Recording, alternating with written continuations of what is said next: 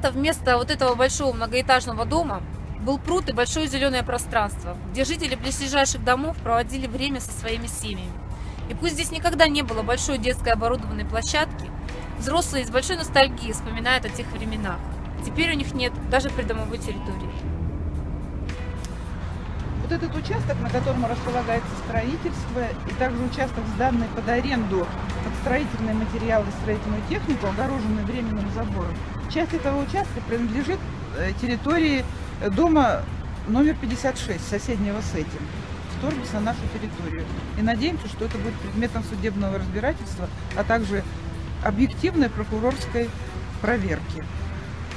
Я отношусь очень плохо к строительству этого дома. Чтобы построить такой большой э, массив дома, сначала нужно, чтобы у нас было здесь хотя бы э, несколько школ, де детские сады. А так я не вижу в этом году перспективы этого большого дома. Скажите, пожалуйста, как вы относитесь к строительству дома по улице Пионерской, 54? Э, отношусь отрицательно. Мы начали бороться против этого строительства еще на стадии э, начальной. Но, в общем-то, не совсем у нас получилось тогда, не было особого понимания у жителей. Э, когда жители поняли, чем это грозит, начали бороться более активно, но, к сожалению, вот дом продолжает строиться. Почему отрицательно? Потому что, во-первых, э, наш район очень густо заселен и так, и проблемы с детскими площадками, как вы видите, в нашем доме вообще нет как таковой. Э, если наши дети теперь гуляют на детской площадке на Пионерской, то можно себе представить, когда вот этот дом будет полностью заселен, сколько прибавится у нас детей. И второй момент, конечно, я так думаю, всех очень волнует, это автотранспорт. Постольку, постольку у каждой семьи, я так понимаю, из э, вновь построенного дома будет не одна машина, Естественно, и так наши дороги очень тут заставлены нашим транспортом. Мы думаем, что тот транспорт нам прибавится. Поэтому, конечно, положительных моментов тут я не наблюдаю. Ваши отношения, прокомментируйте, пожалуйста, строительство вот в вашем дворе. Это не продуманные отношения. Я не знаю, кого мэра, архитектора, кто это все согласовывает. Это очень неграмотное решение. Во-первых, заслоняет нам свет.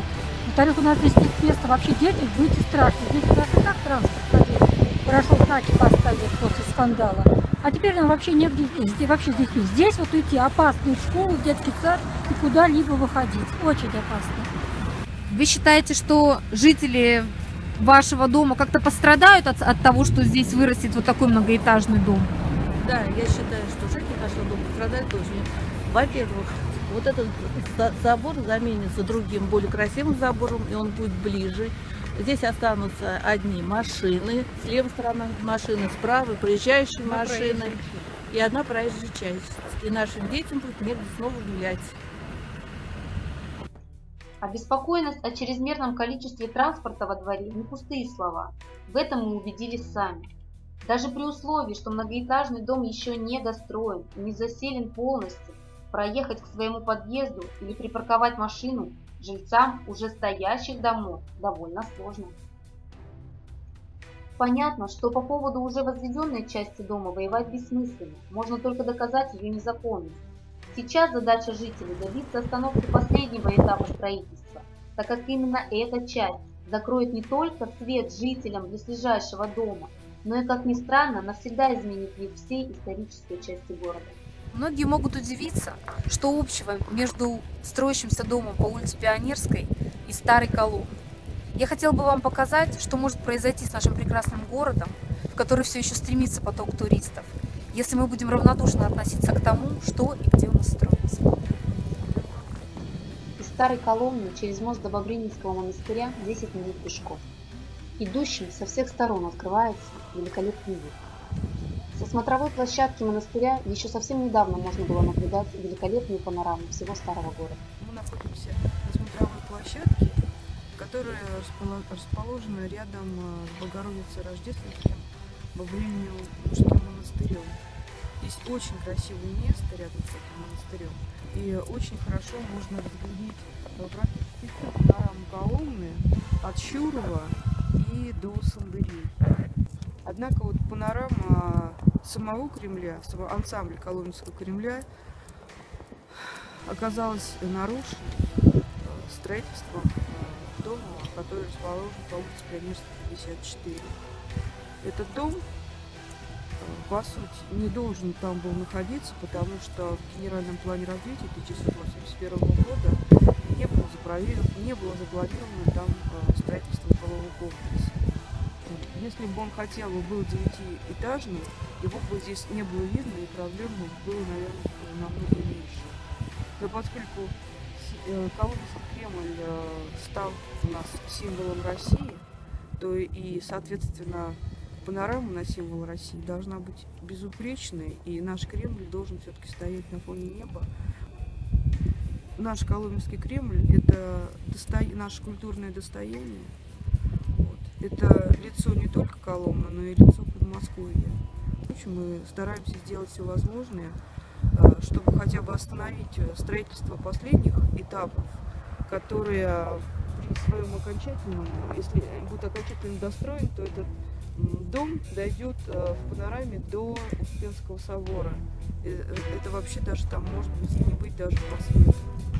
24 декабря 2014 года в Коломенском городском суде прошло очередное заседание. Суть претензий – бездействие прокуратуры. С 2006 года жители домов по улице Пионерской обращаются по всем инстанциям. Это уже третья инициативная группа, которая подхватила эстафету разбирательств по делу о строительстве многоэтажного дома. То, что происходило далее, иначе как театром абсурда назвать нельзя. Поводом для этой встречи в суде было заявление жителей на недобросовестную работу прокуратуры. По их мнению, работники прокуратуры не проводили никакой проверки по их запросу, связанному со строительством на Пионерской. Очередной раз представителям жильцов Ермаковой Татьяны Капитоновны были предоставлены все необходимые документы, доказывающие незаконность действия как самого застройщика, так и закрывающих на это глаза административных органов. Во время прений, когда стороны могли задавать друг другу вопросы, представитель прокуратуры не смог дать ни одного ответа на вопросы Ермакова, продемонстрировав полную неосведомленность как в документации, так и в этом деле вообще.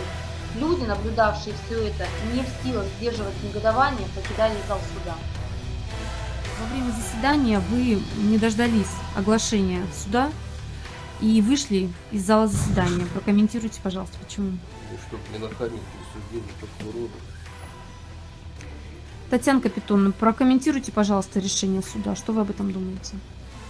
Я считаю, что судьей Синевой было принято совершенно незаконное решение о том, что нам прокуратура колонии дала нам исчерпывающий ответ. В то время как прокуратура в лице Александра Александровича Фрэнка не знает даже и не видела генеральный план 81 года, не знает о том, соответствует или не соответствует градостроительный план земельных участков генеральному плану 81 года.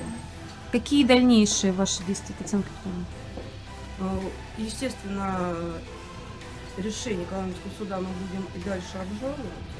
И э, э, глава администрации городского округа Коломны Валерий Иванович Шувалов призывал жителей города выйти на митинг против строительства этого. И сам сказал о том, что примет участие в этом митинге против строительства и будет стоять с лозунгом. Поэтому мы, я думаю, в дальнейшем такой митинг устроим. Большой неожиданностью оказалось решение суда. Жителям отказали в претензии к прокуратуре. Считается, что у Фемиды нет разделения на богатых и бедных, на влиятельных чиновников и обычных людей. Символ беспристрастности – повязка на ее глазах.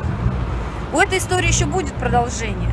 Однако только время покажет, насколько непредвзятое отношение у коломенской богини правосудия, достаточно ли плотная повязка на ее глазах, и на чьей она окажется стороне.